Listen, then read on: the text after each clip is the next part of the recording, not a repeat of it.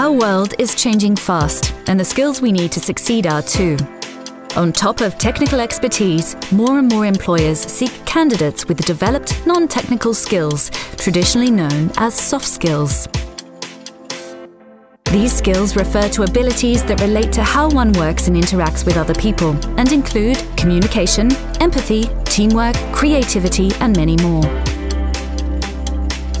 Seven educational and entrepreneurial organisations have teamed up to implement the LEADER project, a collaborative European initiative supporting young adults in various fields of work to develop appropriate soft skills and increase their chances for professional success. Based on the identification of the top 10 soft skills for the future of work, 50 activities suitable for both in-classroom and in-company training were pulled and made accessible for free on an easy-to-use e-learning platform. In addition, a serious game available as a downloadable mobile application has been developed to facilitate the implementation of these training activities.